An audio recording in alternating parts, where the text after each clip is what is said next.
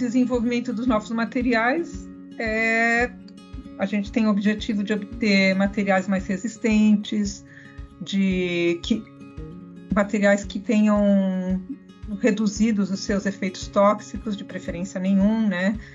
E que tenham mais eficiência, possam, por exemplo, liberar um fármaco lentamente e assim eu não desperdiço, né? Liberando tudo de uma vez, mas só aquela quantidade que o corpo pode pode absorver naquele momento e tornando assim também o efeito de um remédio que a gente toma mais duradouro, né? Então, o objetivo de desenvolver esses materiais, né, é, é o desenvolvimento da nanotecnologia, eu vejo justamente como o aprimoramento e o desenvolvimento desses materiais.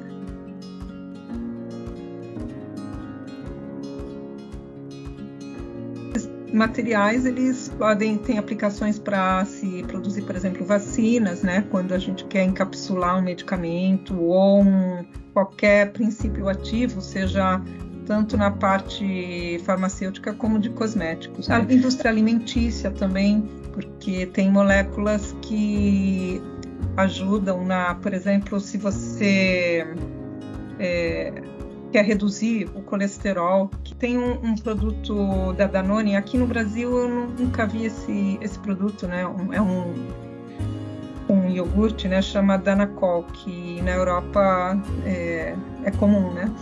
E lá está escrito assim que ele é, ajuda a controlar o colesterol. E lá tá, tem uma molécula que é justamente uh, uma, uma estrutura igual a essas que eu tenho estudado aqui, que eu estou uh, fazendo as minhas análises, né? Que ele interage com o colesterol.